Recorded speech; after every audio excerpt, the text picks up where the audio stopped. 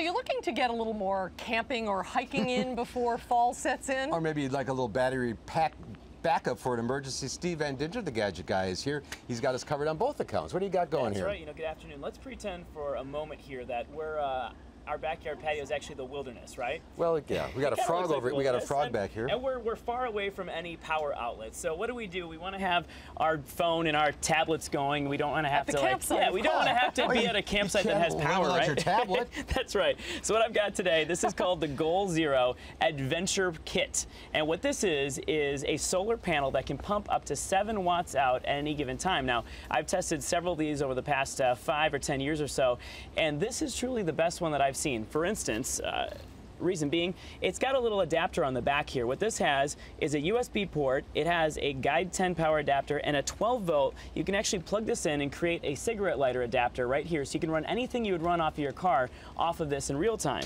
So this means, just to show you, we can actually get light here, um, We're not in the- we're not in the even direct in the direct sun. I'll go ahead and take my USB powered uh, light here, plug it into the adapter on the back, and you can see as I Oh, pull look at out the panel, the lights are So illuminated. so if I this cover- is yeah. if If you covered cover it with your up, skip, see how it go. goes, There and there's go. the light back on. So it's actually taking even this indirect sunlight that we have here and converting it into power.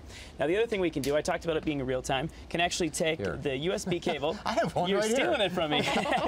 Plug in my phone here, and you'll see the light turn on as I turn this on, uh, and it's actually going to start. There it goes, popped on. It says it's charging right now. So it's actually getting charged uh, off of the sun currently in real time. So this will charge a cell phone or a smartphone in about two to four hours. It'll charge a regular phone in about one to three hours, and if you got a tablet, uh, an iPad or a smaller tablet, about a little longer than the two to four hours. But let's say you know you want to leave this hanging in the tree because it's got some nice uh, hangers here, so you can hang it in any direction. You can actually attach the Guide 10 power pack here, which has four AA's or four AAA's. You plug this in and zip it up all in this nice little pack, and I'll unplug this. And you can actually then hang this in a tree or hang it wherever, and it's going to go ahead and power itself all day. And then maybe when you come home at night and you want to charge your phone or charge your gadget, hang it in the tree. There it goes, and it's actually starting to charge itself. And when you're ready, now you've got four AA's you can use in maybe a canteen, or if you want to just charge a phone or a tablet or something. But you got the stored power from the day um, that's all ready to go for, for evening times. That's So, fantastic. so it's just for charging stuff. I mean, you're not going to run a, a radio or You're something. not. Actually, Goal Zero, if you go on their website, they can run a refrigerator, like a large refrigerator, in real time off of their largest power pack. Now, that Wow. obviously is many more panels than this and runs $2,000.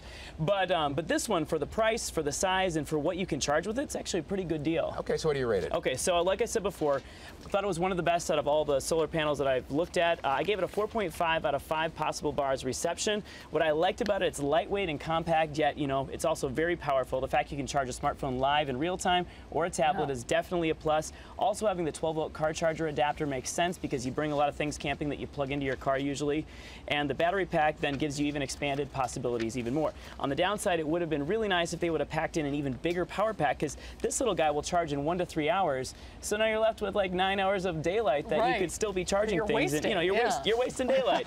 um, and overall, though, if you're an outdoorsy person or you just want to have some uh, power for when there's a power emergency or you Yeah. know something happens to the grid, definitely a good value. It retails for $160. Can be found at goalzero.com. Although if you look online, I found it as cheap as $100. So Okay.